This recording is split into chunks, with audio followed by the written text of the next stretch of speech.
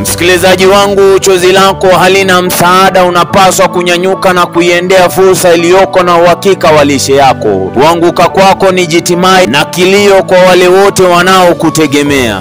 Usikubali kuangusha wote wanaokupa nguvu ya upambanaji ya kile ulichoshindwa jana, kwani huo ndio wanaume. Tumerudi jengoni kuhakikisha kwamba hatutawaangusha. Hii ni Sauti ya Dhahabu. Jina langu ni Kelvin Nyakundi. Ipo siku Afrika pamoja na dunia mzima itafurahia kwa sababu yetu. Shukrani. Kumbuka tunakupenda sana.